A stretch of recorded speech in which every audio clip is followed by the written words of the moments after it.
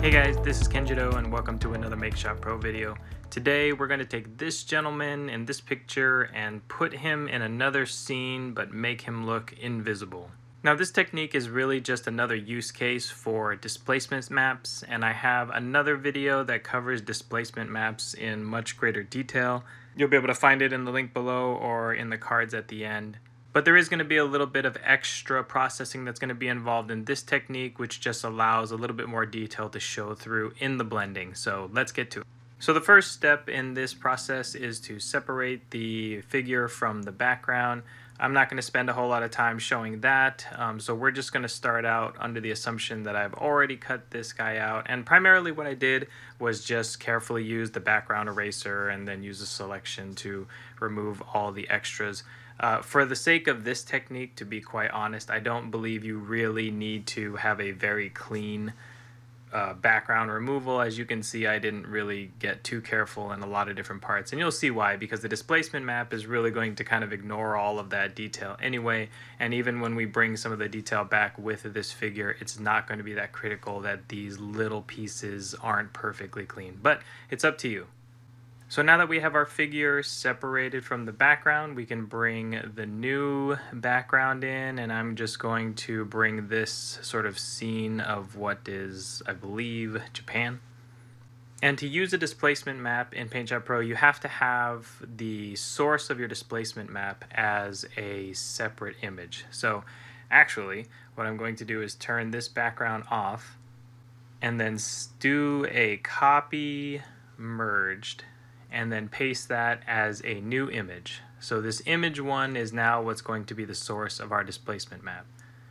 So going back to our starting image, now that we have the background in place, we can turn this guy off. And we want to make sure the background is selected and go to Effects, Distortion Effects, and Displacement Map. And so then we'll, you know, here is where you would select if you want to use a texture or something. This is your current image, but we want to use image one because that's what's going to kind of create this sort of change in the background and the lighting and the detail based off of the lighting of the figure. So we'll select that and then you can already see it, its effect. I mean, this really has that sort of cinematic, you know, I'm invisible, but I'm still distorting light in some ways. And uh, one of the things that I'll I mention that is kind of critical with the displacement map is you always want to consider what the lighting of the source image is. And the best way that I have found that you correlate that lighting with some of these, the rotation lighting settings is think of this line and the circle in the middle as an arrow pointing in the direction of the primary light source. And so in the case of this image, it felt like the primary light source was coming down on top of the subject, so I changed the rotation to be pointing straight down, and that produced this kind of distortion. Now, one thing to do here, uh, I feel like is a point of um, you know customization as well, is changing the blur. So the more you blur, the more you know you lose a lot of detail, right? If you use a much larger number, and so then as you bring it back, and as you bring it even into a very small number, you start to get a lot, a whole lot of detail, right? To the point where you almost just have an embossing of where all the edges and all that kind of stuff are. So you got to play with that dial to, you know, whatever degree of detail you're looking for. I kind of want something in the middle. I definitely want to see the folds in the jacket and some of the parts of the face. But there is some other extra things I'm going to do to bring a little bit more detail back as well. So at this stage, depending on what you're going for, you may just want to stop here and say, oh, this looks like there's somebody standing there and clearly is, you know, doesn't belong in the scene as, you know, changing the lighting kind of right in that area. But what I'd like to do, just because I feel like this is more of a portraity kind of image, to bring a little bit more detail of the original figure back.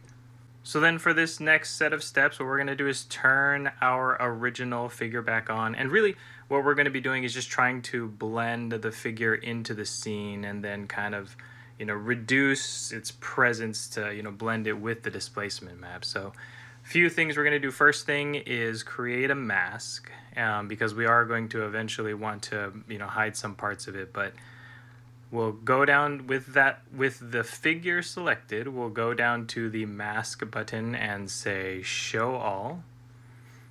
And so now we have a group and because we have a group now we can do some layers uh, adjustment layers that will affect only him and not the rest of the scene. So one to start with might be uh, removing the color because we don't really need the color of his image to show through so we can reduce saturation. And and probably even more so we can change this uh, group's blend layer to luminance. So then what that does now is it allows the original color underneath to come through. So we probably actually don't need this Next, uh, what you'll notice is that it feels like this figure has a much higher contrast than the rest of the scene. So one of the things we can do is just go to adjustment layers and then add a brightness contrast adjustment layer and then decrease the contrast. So then we start to see it starts to blend in a little bit more in the scene. And maybe we even want to darken it a little bit.